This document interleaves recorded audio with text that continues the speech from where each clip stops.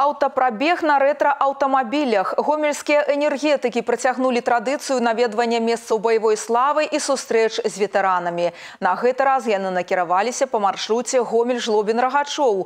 Удзел у акцыі прыняў і наш корэспандэнт Олег Сенціроў.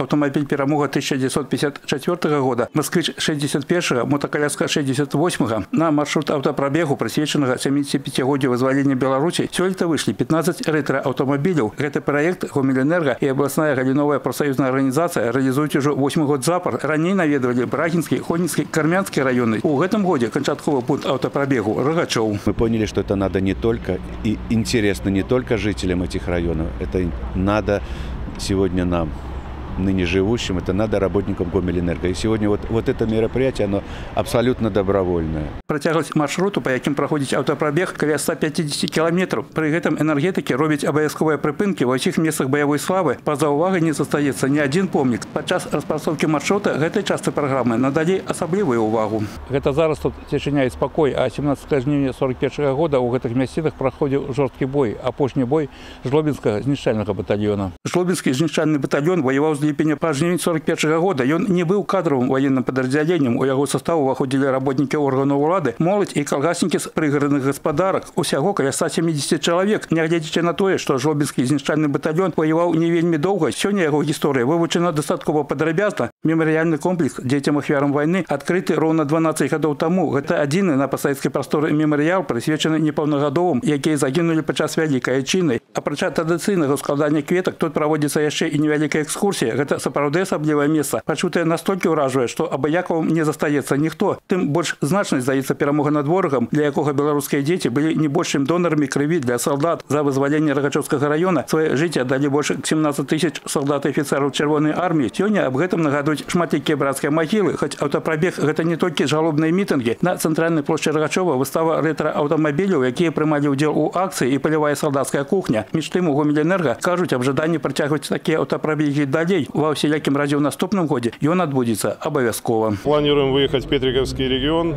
петриков Лерчиков, не охвачены Житковичи, Лельчицы.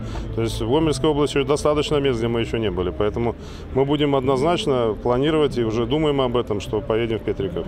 Олег Сентеров, Александр Харлампов, телерадиокомпания «Гомель».